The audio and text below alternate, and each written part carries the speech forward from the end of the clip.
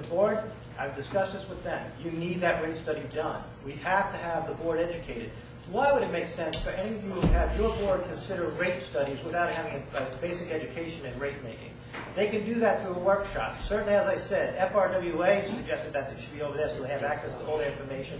This board, to my knowledge, nobody asked for it, nor did I ask for it to be held there. They wanted it in their offices. Anything they said would then come to you all, so you all can get that same kind of a workshop.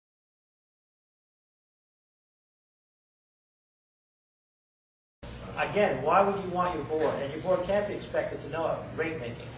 Another thing that was, another it's thing that, only Commissioner, I'm numbers. explaining your answer, I'm ex- answering your question.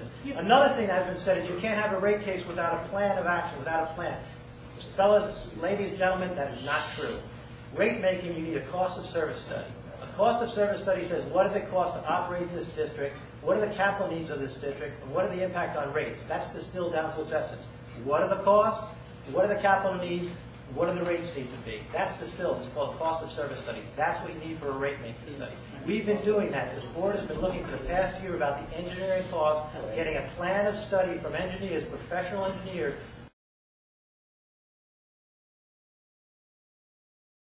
for free from the Florida Rural Water Association, which they went out and solicited and got for free.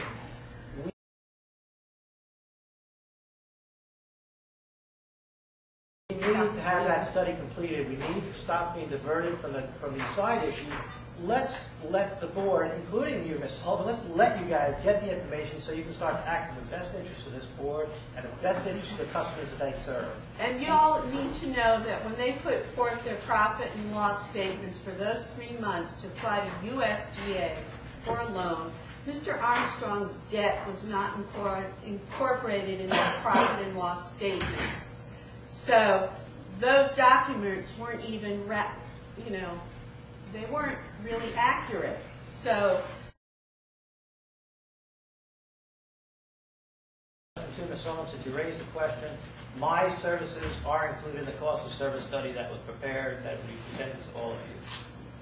But we Payments didn't know, discussed with the board, we should provide responses as the questions come up if we're able, and that's what we'll do, because people seem to take the fact that questions are raised, questions are raised, and even though answers are given after the meeting or somewhere else, they, they